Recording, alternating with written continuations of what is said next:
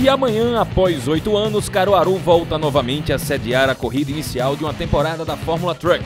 Fazendo parte do calendário desde 1997, essa será a décima ocasião que a cidade abre o campeonato e é a única pista do Nordeste a receber uma etapa dessa categoria.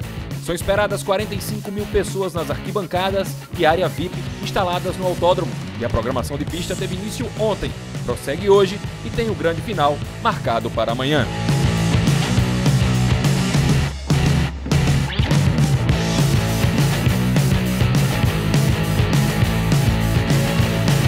Piloto Beto Monteiro, pernambucano que corre pela escuderia Iveco, busca mais uma vez o título da categoria, conquistado ano passado. Historicamente, Beto é um dos mais participativos da Fórmula Truck e figura na lista dos vencedores da etapa de Caruaru.